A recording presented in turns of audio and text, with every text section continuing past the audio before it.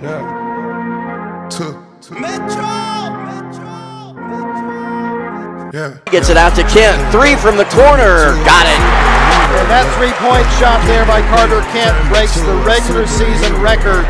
He puts him at 72, breaking the record of J.P. Height. If young Metro don't trust you, I'm gonna shoot you. I'm in that dope again. Drives the lane. that Puts it up. Rejected by Elmore. Rebound Darius Thomas.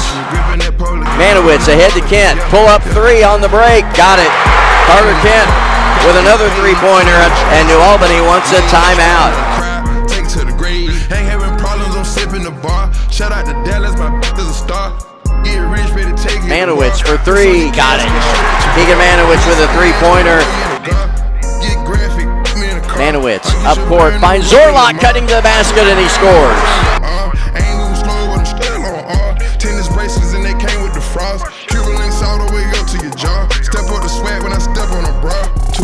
Three-point shot at the buzzer, no good. And that is it.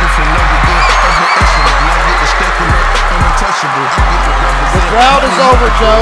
18 long years. Just look at the excitement on those boys' faces. All the time in the early morning practices, the time in the weight room that they put into this, all goes to this moment. They've all been shooting for this for probably the majority of their lives. So, happy for these kids. A lot of folks would have loved to have uh, seen this day. So if I may, Bob Kent, they did it. Jeff Inman, they did it. Chuck Hurley, Don Pelkey, Ham Workey, and countless Panther fans over the years. Jennings County has won the Seymour sectional tonight. Final score Panthers 51, New Albany 39.